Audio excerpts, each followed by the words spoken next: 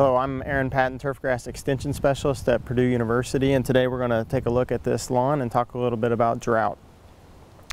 One of the uh, things that uh, uh, we can think about when we're when we're faced with a drought is we can think about what kind of watering strategy we want to have on our, our lawn. And there are two main approaches that a homeowner might take uh, during drought with their lawn. The first approach might be that, hey, you know, they really like their lawn, they want to keep it nice looking, and so they're going to uh, irrigate uh, a couple times a week, two to three times a week, uh, to supply a little over an inch of rainfall, or excuse me, an inch of irrigation to their lawn. And then uh, that's going to keep the lawn green and growing during those dry periods. Now, because of the cost of water or maybe people's schedules and so on, not everybody wants to uh, uh, water their lawn or maybe don't have the capacity to water their lawn because they don't have an irrigation system and so on. And so some people may choose to just kind of let their lawn go in what we call a dormancy state where the lawn uh, it turns brown during the drought and um, uh, just from the lack of water. Now, what most people don't understand is that when turf turns brown like this, it's not dead. A lot of people think that once turf turns brown, it's, it's dead, and it's not. It goes into what we call the summer or drought dormancy. And for most of our lawns in Indiana, Kentucky bluegrass, or in the greater Midwest, Kentucky bluegrass lawns, they can survive uh, five, six weeks without any rainfall at all in this dormant uh, state. But once we get beyond that, if we go five or six weeks without any significant rainfall or, or without any measurable rainfall, then there is a point where uh, the turf could start to die. And so we often recommend that if uh, if a homeowner has a lawn that has uh, is in drought stress and they've entered that period of five or six weeks without rainfall, that they would go out and irrigate once every one to two weeks with about a half an inch of, of water on their lawn.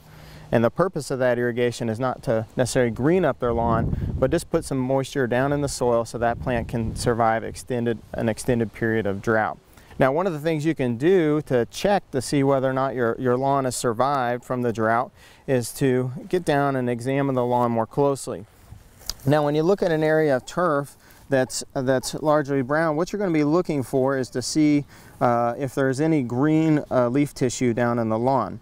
Now in this lawn right here, although it's mostly brown, if we examine closely, we do see some green leaves. And one of the easiest ways to do this is just to take your hand and uh, kind of try to knock some of the brown leaves off and you should be able to find some, some green leaves in there, okay? Now, if you don't find any green leaves, it doesn't necessarily mean that your lawn is dead. Uh, it could mean that it's just uh, taken a little bit longer to recover from the stress. But if you've had rainfall and you've waited a couple weeks and you don't see any new green growth emerging, it probably is an indication that that your lawn has succumbed to the drought. Now another thing we need to think about in the fall when we're trying to recover our lawns from drought is what kind of turf grass species we have in our lawn. Uh, some turf grass species are what we classify as a bunch type grass. Here's an example of a clump of tall fescue. And tall fescue is a, is a, a drought tolerant turf grass that we use in lawns that uh, is known to do well uh, during drought. That's why it looks a little bit green where the surrounding turf which is mostly perennial ryegrass or Kentucky bluegrass has already turned uh, completely brown. The problem with tall fescue though is it's this bunch type grass and so although it will uh, survive uh, periods of drought, it doesn't really have the capability to recover from that drought. And so what we're left with is maybe some areas around this clump of tall fescue that have not survived and since this is a bunch type grass, it will not spread into those areas. So when your lawn recovers, if you notice kind of a patchy appearance, then you might need to get out there and, and throw some seed down to fill in those patches. And the rule of thumb we like to have is if the spot is bigger than the size of your hand, then it's likely that it's not going to fill in on its own and you're going to need to uh, add some turf seed to that area to try to get that, uh, to recover that, uh, your lawn. During drought, one of the things that homeowners will experience is that a lot of the weeds in their lawn will stay green when the, the turf in their lawn might turn brown. And uh, Many of these weeds are summer annual weeds that do really well during these hot, dry conditions. Other weeds are perennial weeds that might have a very deep taproot system and be able to survive uh, drought. And so many homeowners will often want to go out and control these weeds during this period. And so, uh, but we need to uh, give that some thought because that might not necessarily be the best time of year to control the weeds in their lawn. So let's take a couple examples here. Here we have a, uh, uh, some broadleaf uh, in the lawn. and you see the lawn around it is brown and these weeds are green. So a homeowner might be tempted to go out and spot treat these weeds, uh, but that's not necessarily what we recommend during the summertime.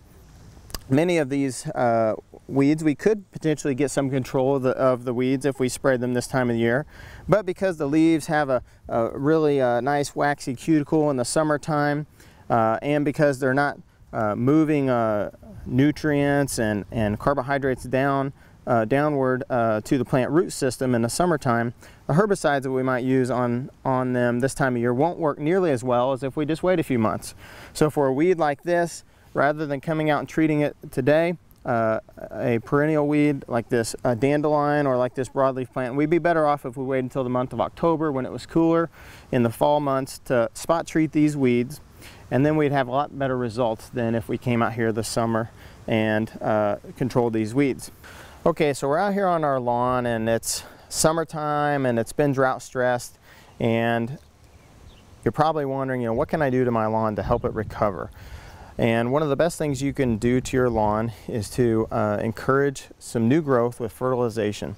And uh, there are better times of year to fertilize and so on, and one of the best times of year to fertilize is actually in the fall. And by fall I mean September, October, November, those that time period. Now another thing that we can do this time of year is we can think about seeding. Uh, the end of summer, start of the fall is the best time of year to seed a lawn and so when you go out on your lawn, inspect areas, if there are some thin areas in the lawn uh, that didn't seem to recover well from the drought, then that end of the summer, start of the fall is the best time to put some turf seed down in those areas. And that will give that seed uh, several months to establish before the next summer's drought. So that's why we like to seed at the end of the summer, the start of the fall, because it gives the maximum amount of time for that plant to develop a nice deep root system be, to be able to handle a potential drought the following year. For more information about what to do during times of drought, visit www.purdue.edu slash drought.